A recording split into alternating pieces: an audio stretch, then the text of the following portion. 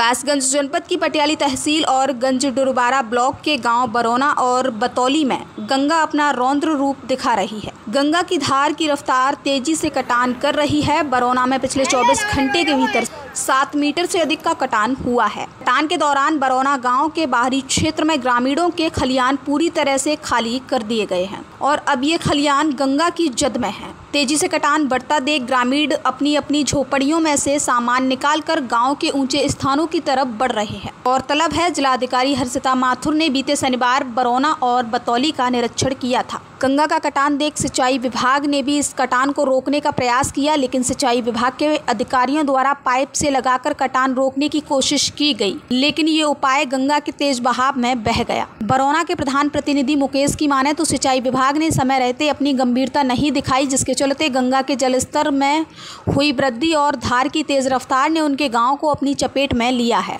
प्रधान प्रतिनिधि ने ये आरोप लगाया कि जिलाधिकारी द्वारा अगले साल इस गाँव के तटबंध निर्माण का आश्वासन दिया गया है, लेकिन समस्या अभी है, अगले साल क्या होगा, किसको क्या पता है।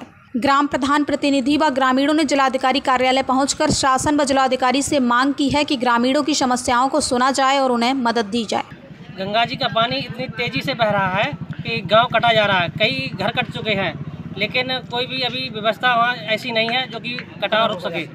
तो कलेक्ट्रेट पर क्या जिलाधिकारी महोदय से ने, ने, हाँ महोदय जी को अवगत कराने आए हैं कि कोई बचाए के लिए कोई व्यवस्था की जाए जिससे हम लोगों के घर बच सकें।